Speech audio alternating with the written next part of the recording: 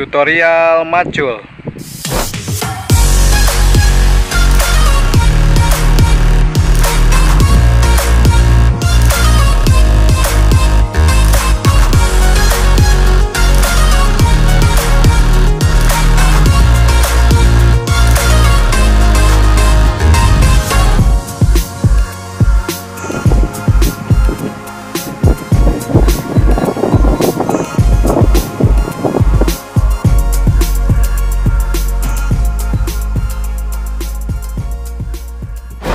Halo teman-teman, hari ini aku mau ngasih tahu sama teman-teman semua bagaimana caranya mencangkul lahan di daerah kami, khususnya di dataran tinggi di kaki Gunung Cirema ya teman-teman. Ini manual saja ya teman-teman, nggak pakai mesin karena ya kami itu nggak punya juga sih mesinnya.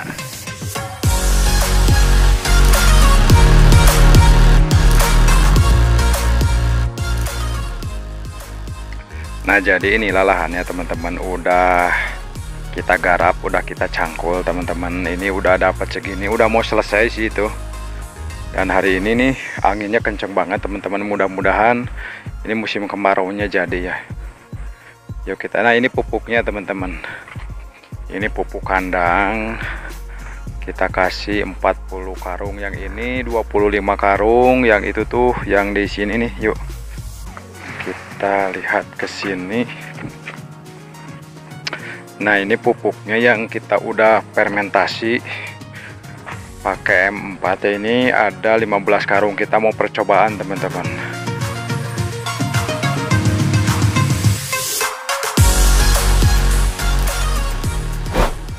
Nah jadi teman-teman ini lahan yang belum uh, selesai kita garap. Tinggal ke sininya aja nih teman-teman tuh tinggal yang ini setengah petak ya. Nah ini rumputnya teman-teman yang dulu aku semprot pakai herbisida. Ternyata ini mati juga. Tadinya aku sudah khawatir karena ini rumputnya belum ada tanda-tanda sekitar satu minggu kurang ya sekitar lima harian lah. Ini rumputnya enggak ada belum ada tanda-tanda atau mau mati mau kering. Tapi sekarang ini sekitar berapa minggu ya ini sekitar dua mingguan lah dari penyemprotan. Ternyata ini rumputnya kering juga teman-teman. Nah kalau rumput yang hijau-hijau itu tuh itu emang rumputnya agak bandel aja nakal.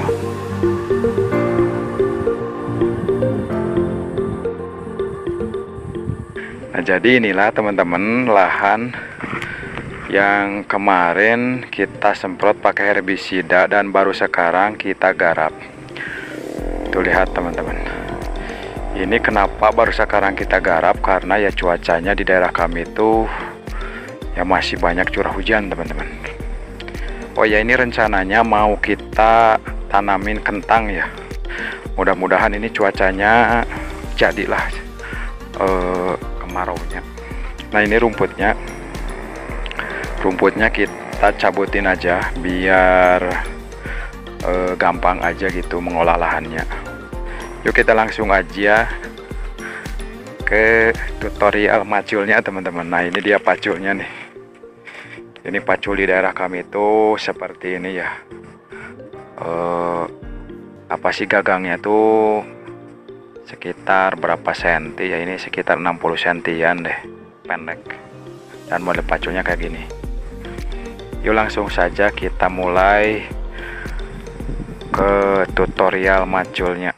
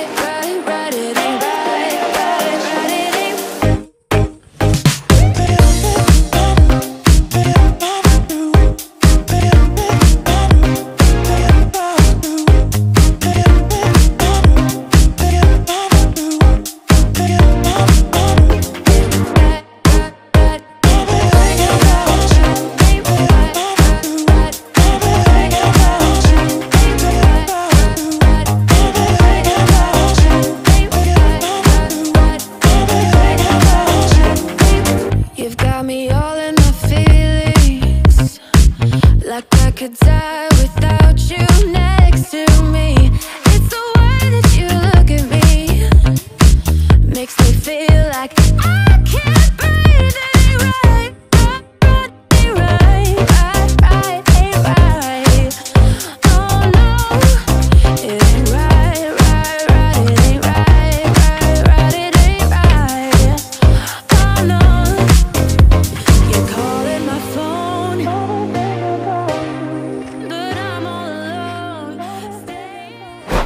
setelah kita bikin lubangnya seperti ini teman-teman kita tinggal masukin rumput yang ada di sini nih teman-teman. Kita masukin ke lubang yang telah kita sediain kemudian kita kubur.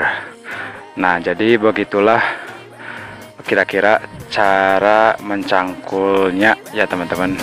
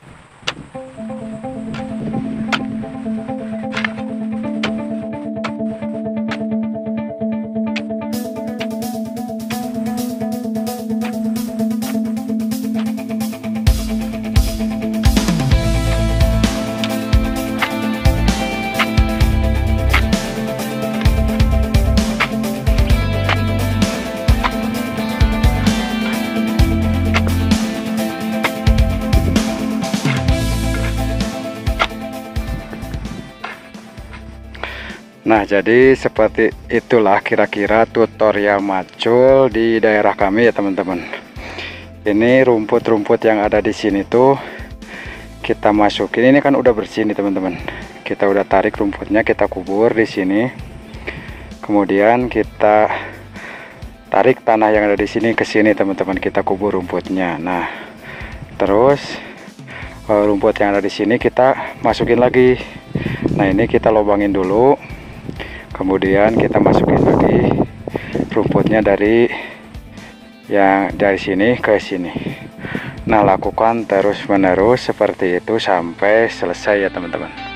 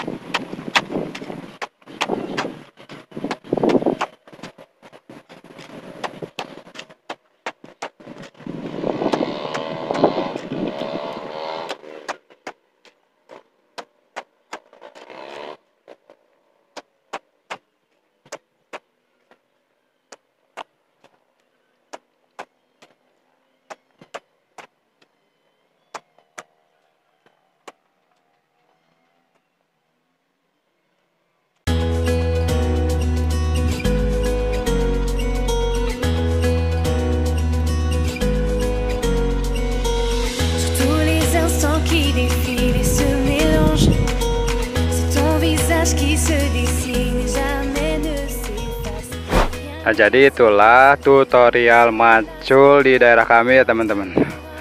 Jadi seperti itulah caranya. Ini kita manual aja. Aduh kalau ya barangkali kalau ada yang mau donasi alat-alat pertanian silahkan ya ditunggu. Saya siap menerimanya. biar enggak eh, manual kayak gini lagi biar cepat proses pengerjaannya ya.